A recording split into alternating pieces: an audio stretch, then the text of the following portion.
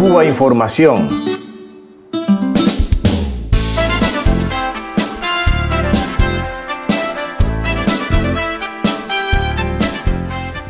Después de tres años en prisión, en condiciones degradantes e inhumanas, según expresan varios juristas norteamericanos, ha comenzado en la base militar de Maryland el juicio contra el soldado Bradley Manning.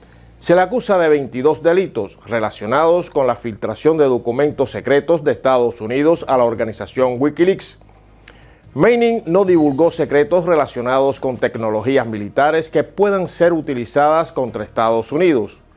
Su traición consistió en revelar asesinatos de civiles cometidos a sangre fría por las fuerzas de ocupación estadounidenses en Irak y Afganistán, las torturas a prisioneros recluidos en Abu Ghraib y Guantánamo, y las mil y una conspiraciones contra la soberanía de países con los que Washington no está formalmente en guerra.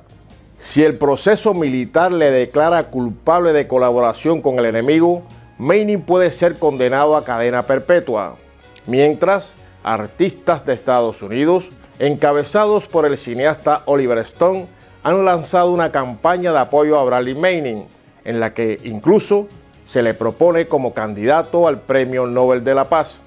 Ya han recogido decenas de miles de firmas de personas que mantienen que su actuación no debe ser motivo de juicio, sino de honra.